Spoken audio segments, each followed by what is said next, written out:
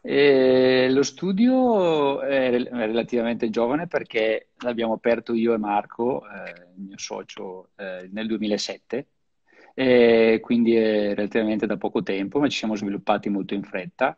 E nasce da un'idea mia e di Marco di, di, unire, io lavoravo al tempo a Londra e poi lavoravo per un altro studio, lui aveva una sua azienda, ci siamo ritrovati perché io e Marco ormai ci conosciamo dai tempi delle elementari, quindi è come un fratello, e abbiamo deciso di aprire lo studio e eravamo io, solo io e lui, adesso eh, siamo qua nella sede principale di Brescia, siamo in 14 e poi abbiamo altre sedi eh, perché il grosso del lavoro, l'80% all'estero in questo momento, anche se lavoriamo anche in Italia.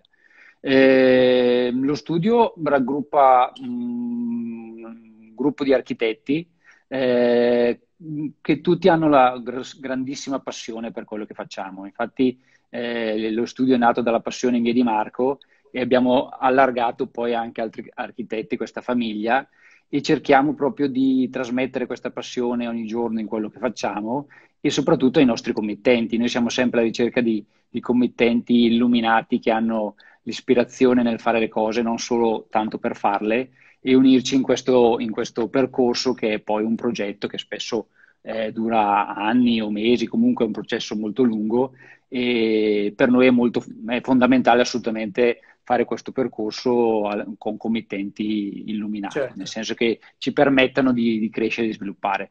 Eh, lo studio si concentra fondamentalmente su alcuni valori principali che per noi sono fondamentali, che sono il Made in Italy, lavorando all'estero, è molto importante, eh, eh, la selezione poi all'interno dei prodotti in Italy per, per, i committenti, per ogni singolo progetto, eh, attuiamo una grandissima selezione dei prodotti specifici per il progetto.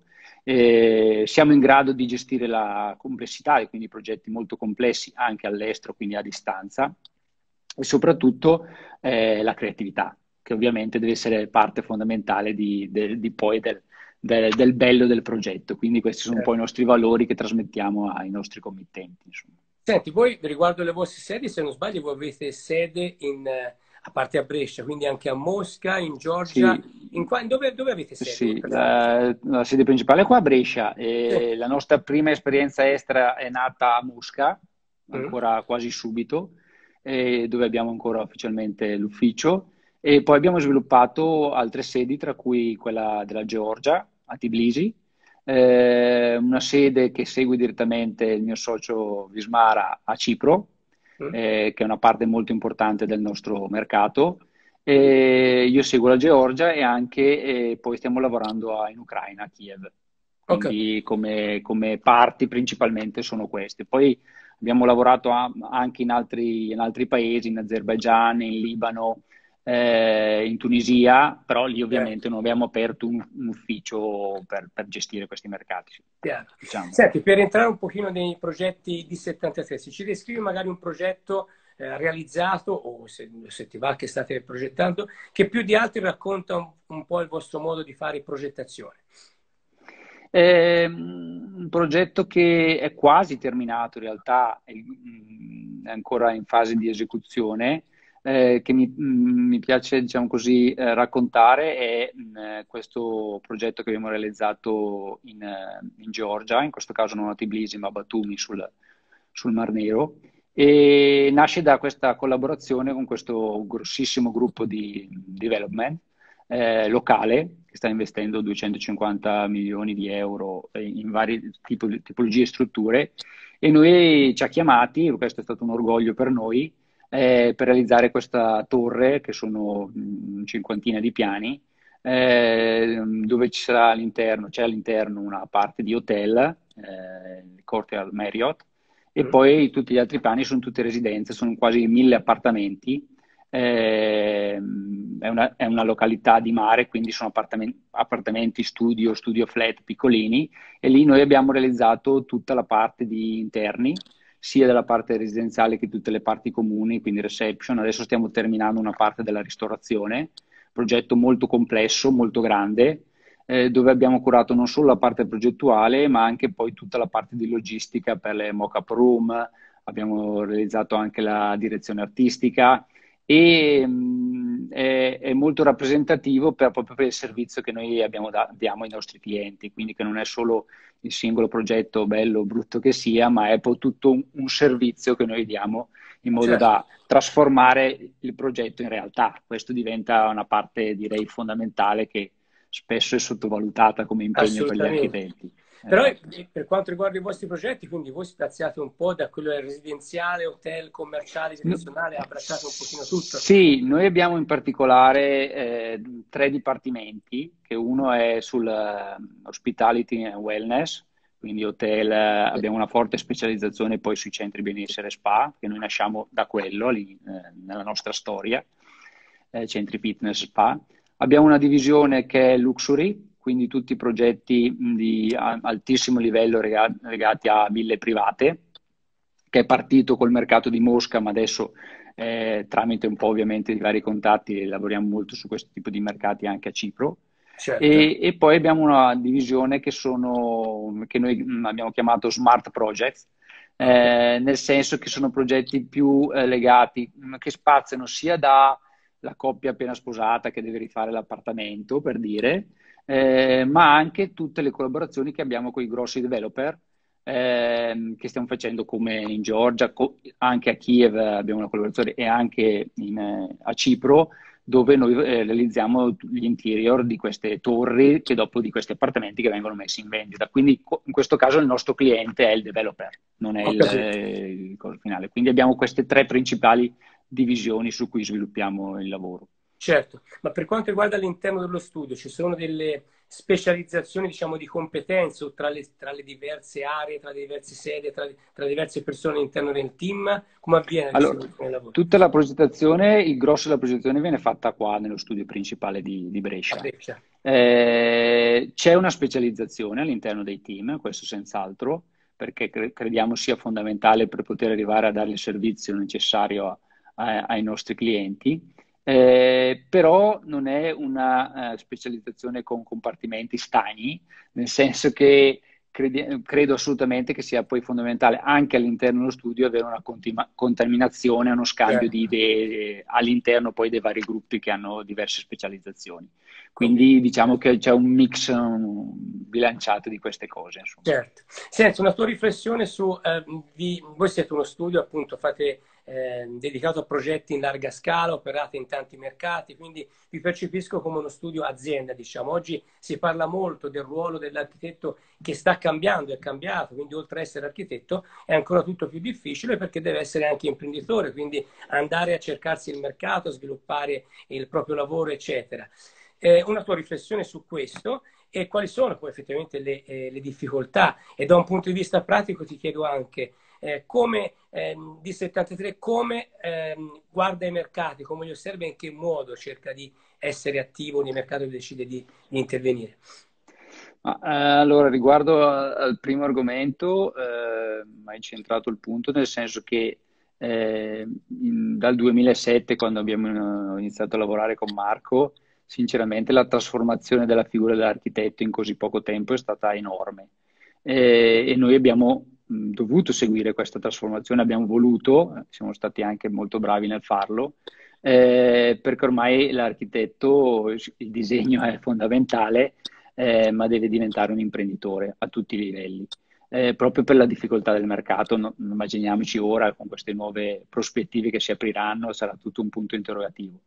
Eh, noi come studio, in particolare, da ormai un anno e mezzo abbiamo poi intensificato questo, questo sviluppo da studio ad azienda vero e proprio, eh, grazie anche alla collaborazione di, di, laboratorio commerciale che è Gabrielian Partners di Trento, che ci sta seguendo proprio in questa trasformazione dove stiamo ridefinendo organigrammi, processi, flussi di, di decisioni, eh, tutta la parte anche finanziaria, quindi tutta la parte di comunicazione, marketing. Quindi lo studio si sta già trasformando proprio in un'azienda e credo che questo sia stata un'esigenza che io e Marco abbiamo sentito proprio perché eh, eh, sentivamo la, la, la, possibilità di crescere, avevamo tutte le conoscenze, i contatti per farlo, ma eravamo arrivati a un certo. punto che dovevamo fare un salto e questo credo che per la figura dell'architetto sia fondamentale eh, deve essere fatto e anche eh, non è facile perché ti metti in gioco, quindi devi uscire dalle tue zone comfort, pensare di, di dire so poco, devo imparare ancora tanto e,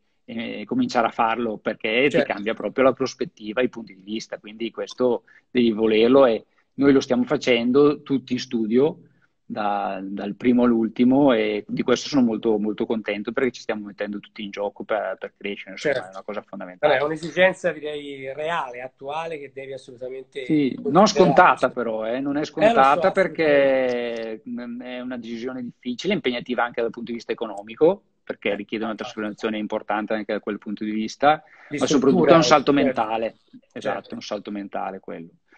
E, ehm, poi per ehm, riguardo al discorso dell'approccio ai mercati, credo mh, mm, per noi è fondamentale ormai eh, quando si dice i famosi B2B, business to business, io credo che ormai siamo a human to human, ormai il rapporto eh, con le persone è talmente fondamentale per costruire il proprio business. Questo è bello, per cui, certo. Sì, è fondamentale, a maggior ragione al giorno d'oggi, dopo che abbiamo passato, stiamo passando questa Chiamo. esperienza in cui eh, stiamo vedendo l'importanza del rapporto tra le persone. Quindi anche nei mercati esteri noi ci muoviamo sempre con la presenza, perché ad esempio eh, Marco eh, fisicamente, ad esempio a Cipro, un mercato importante, e um, abbiamo preso questa decisione, lui è stato molto in gamba e bravo a, a, trasferirsi in questo momento, a fare come base principale a Cipro per, per sviluppare il mercato là. Io eh, viaggio parecchio, abbiamo poi sviluppato anche delle mh, collaborazioni con, con uh, il, degli architetti locali che lavorano proprio per noi, eh, proprio per avere il costante eh, controllo delle relazioni day by day dei clienti locali che hanno bisogno di, di sapere che ci sei anche se certo. ti sentono. Quindi direi che tutto eh, parte dallo sforzo di costruire proprio questo tipo di relazione personale col cliente, con eh, i collaboratori, con i partner, questo di, diventa ormai certo. fondamentale. Comunque concordo con te, appunto, relazione eh, personale è fondamentale, però anche l'approccio mentale, predisposizione mentale a fare queste cose credo faccia la differenza tra riuscire sì. e non riuscire nel farlo. Insomma. Sì, Ora ci sarebbero tante altre cose, cerco di stringere, ci sono delle domande appunto chi, da parte di chi ci segue.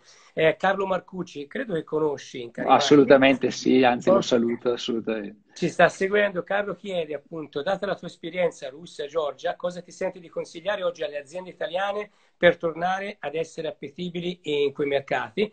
E secondo te eh, che segnali sta ricevendo dall'est? I paesi del Caucaso avranno sviluppo nei prossimi mesi? Ti chiedo poi altre domande e risposte magari brevi così cerco Brevi, di... sì. Eh, allora le aziende italiane oh, dipende molto dal mercato perché Carlo fa, fa due, due, esempi di mercati completamente diversi.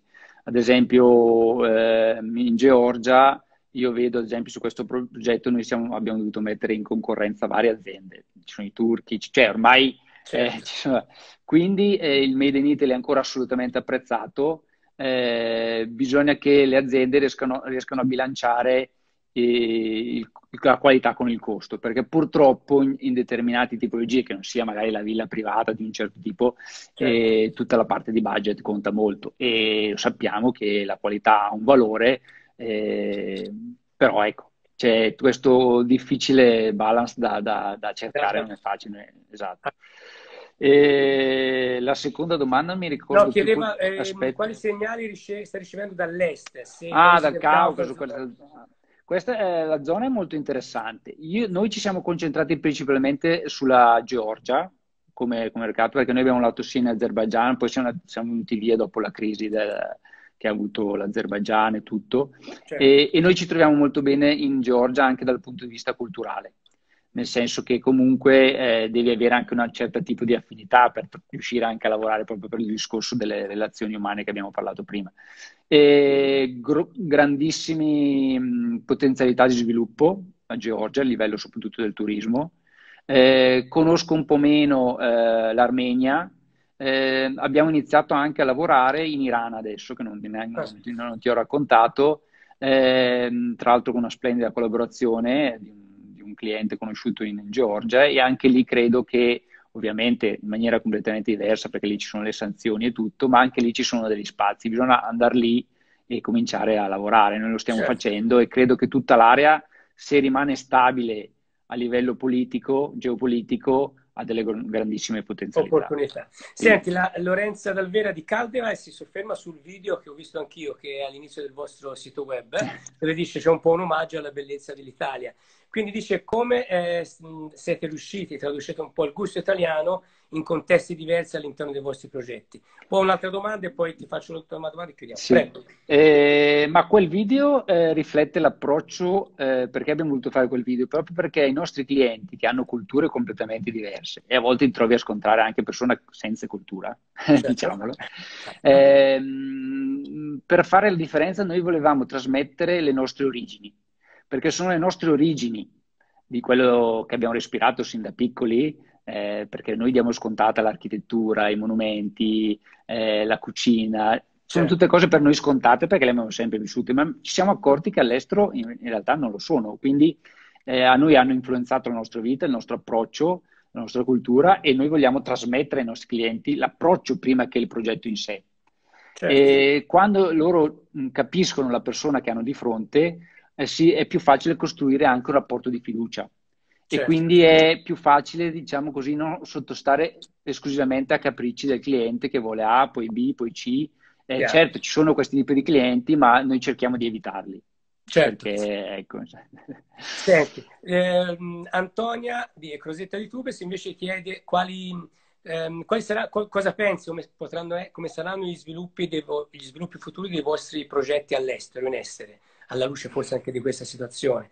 Pensi ci sia senz'altro una, Beh, eh, una bellissima domanda, eh, nel senso complessa, perché siamo in una situazione in divenire. Eh, noi attualmente non ci siamo mai fermati, stiamo lavorando, stiamo portando avanti i progetti, siamo in costante, nonostante da casa, in contatto con i nostri clienti e stiamo portando avanti le cose. Io credo che mh, eh, ci, po- ci potrà essere una ripartenza come se nulla fosse, anzi ancora più veloci di prima perché si vorrà recuperare il tempo perduto. Eh, sicuramente eh, probabilmente sarà così probabilmente nei mercati che certo. seguiamo noi. Eh, eh, si, quello che sicuramente noi vorremmo fare è riuscire a prendere questa, questa esperienza che stiamo vivendo anche come una possibilità di approcciare in maniera diversa comunque anche il mercato che noi stiamo facendo, anche a livello proprio di approccio certo. eh, senza dover sempre correre, cioè, dovremmo sempre correre, ma dare però... dei valori ancora più forti ai nostri committenti per non essere sempre in balia del, de, dei loro capricci, perché spesso noi abbiamo clienti anche molto molto difficili eh, da gestire. Assolutamente. Poi avremo però già risposto prima, in parte Stefano Ruggi di Cerame a Sant'Agostino appunto chiedeva eh, due parole sul vostro passaggio dalla, da studio italiano a studio adesso internazionale, generalista appunto che opera in più mercati, però abbiamo in parte... Anche lì è, è l'esperienza che ti porta poi eh, l'esperienza, diciamo che lavorando, le collaborazioni, perché noi siamo diventati internazionali con l'esperienza prima di Mosca, è stato un grosso lavoro di tre anni, che è nato dalla collaborazione con un'azienda italiana, eh, in cui avevamo un, un, particolare rapporto e loro ci hanno, hanno, chiamato noi per fare questo tipo di progetto. Certo. Quindi la collaborazione con le aziende italiane per noi è fondamentale. Noi siamo italiani, portiamo il Made in Italy, è una collaborazione che non è solo dal punto di vista tecnico del prodotto, di qualità, ma deve essere una collaborazione a livello di servizi e supporto. Partnership, insomma. Partnership, che è molto certo. diverso da vendere un prodotto. Certo. Perché noi poi facciamo anche chiavi in mano adesso, stiamo sviluppando anche poi non solo la progettazione, ma anche proprio la realizzazione in un cantiere a,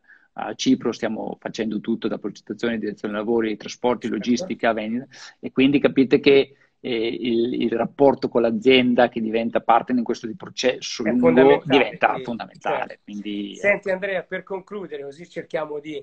Ora, ci sarebbero, eh, ripeto, altre domande da eh, farti, ma cerchiamo di...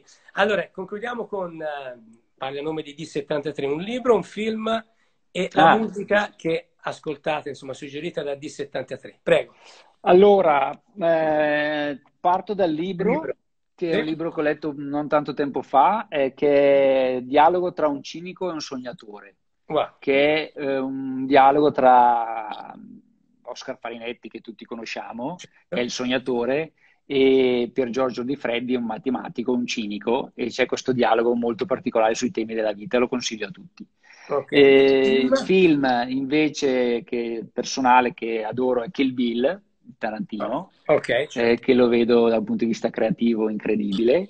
E come musica eh, Drive On, che sono i Pajero Sunrise, che è, um, è particolare eh, nel senso che eh, ispira questa idea del viaggio, eh, mm. del continuo viaggio, eh, che è un po' la metafora di quello che abbiamo iniziato io e Marco, stiamo facendo adesso, ed è quello che continuiamo a fare al di là di prende, prendendo aerei a destra e a sinistra, adesso siamo fermi, ma siamo un continuo viaggio anche dal punto di vista metaforico e spirituale, certo. che è poi il bello che ci fa alzare ogni giorno la mattina senza, senza essere annoiati.